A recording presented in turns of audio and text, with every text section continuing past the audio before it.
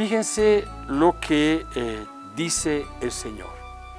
Hijo mío, me habla a mí, te habla a ti, queridos amigos. Prepárate para la prueba. Aguanta y acepta todo lo que sobrevenga, la enfermedad y la pobreza, porque el oro se, se prueba en el fuego y los elegidos en el horno de la pobreza.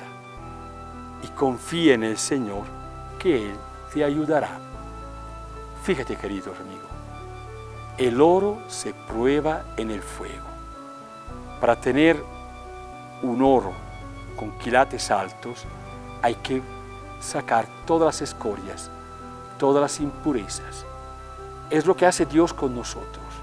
A veces quiere probarnos con la dificultad, con la enfermedad, a veces con la confusión en nuestra mente, a veces sintiéndonos como personas solas y desamparados. Dios nos prueba ahí para que sepamos realmente ver lo que vale nuestra vida. Si confiamos en las cosas humanas, terrenales, esto es escoria, esto es impureza. Dios quiere que saquemos esto de lo precioso que hay en nuestra alma. Y lo precioso es su presencia en nosotros, que Él está con nosotros.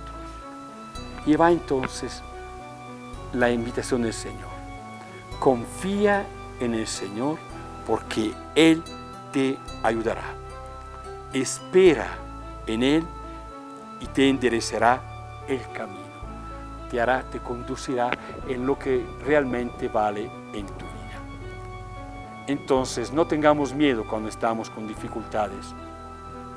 No permitamos que el miedo se adueñe de nosotros porque Dios solamente nos está probando, purificando, para que podamos resplandecer como el oro resplandece en una joya.